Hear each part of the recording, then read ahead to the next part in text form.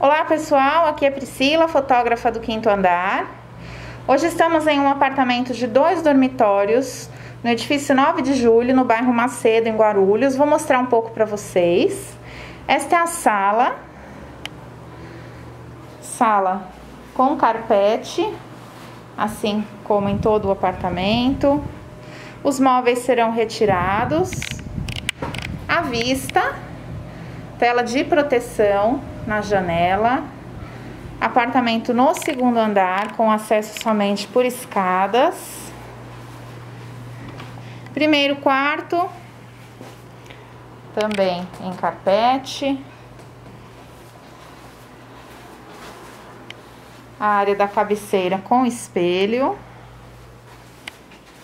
Parede branca. À vista.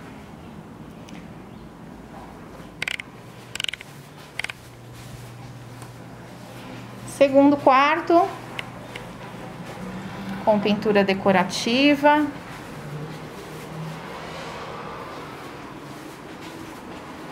A vista para a rua de entrada do prédio.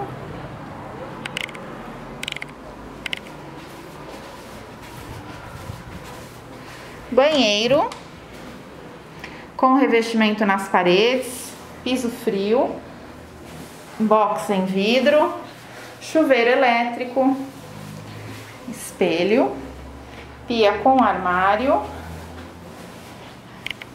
cozinha com revestimento nas paredes, armário planejado na cor branca, pia em granito com armário na parte de baixo e a área de serviço com tanque, parede texturizada, varal e a vista. Janela grande aqui na área de serviço, com a vista livre.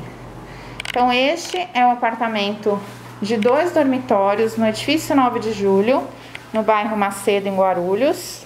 Você pode conferir este imóvel pelo site do quinto andar.